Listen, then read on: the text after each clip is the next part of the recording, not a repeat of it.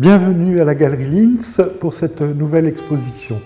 Cousumain, monde de la broderie, du fil et du tissu. Aujourd'hui, nous vous montrons un aspect de ce que peut être euh, la broderie, non pas la broderie classique extrêmement codifiée, mais peut-être un au-delà de la broderie, quelque chose qui se fait autrement, aussi bien par euh, une intervention comme Satizek, qui est de l'ordre du, du tressage et qui n'est pas tressé. Euh, qui est relié autrement, de Michel Nedjar, où les nouages et les torsions euh, sont là pour relier, relier le passé et le présent.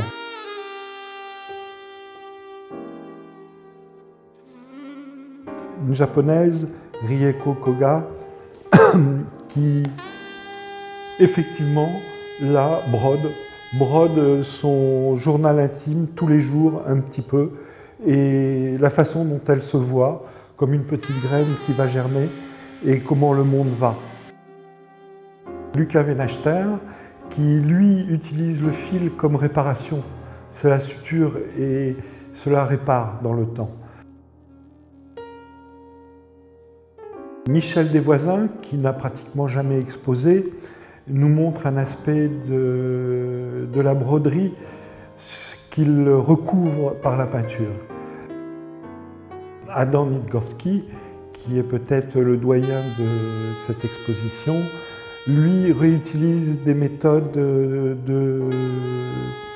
de couture euh, africaine pour euh, un aspect apparemment naïf euh, du patchwork, mais beaucoup plus précis et percutant.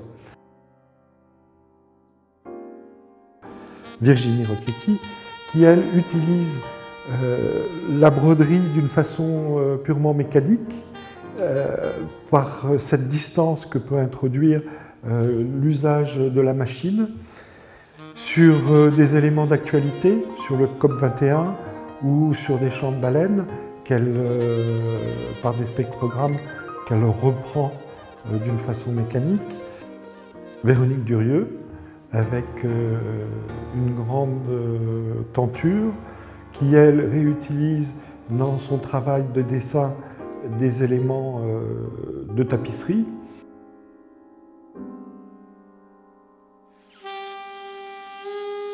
Marie-Noël Fontan, qui, elle, utilise la trame, euh, fil de chaîne, fil de trame, pour intégrer des éléments végétaux extrêmement lointains et Nathalie May, qui est la commissaire d'exposition, qui, elle, brode d'une façon euh, non pas aléatoire, mais presque classique, avec un impératif, euh, on va dire comme dans le dessin euh, chinois, le, le, motif doit toujours rester ouvert. Une couleur n'arrête pas une autre couleur, mais ouvre sur une autre couleur. Enfin, Marie Boissel, qui euh, brode, brode euh, les montagnes de son enfance, brode euh, les petites filles, brode un monde qui lui appartient, qui a une pertinence et une, actualité et une présence jamais, jamais remise en question, on va dire.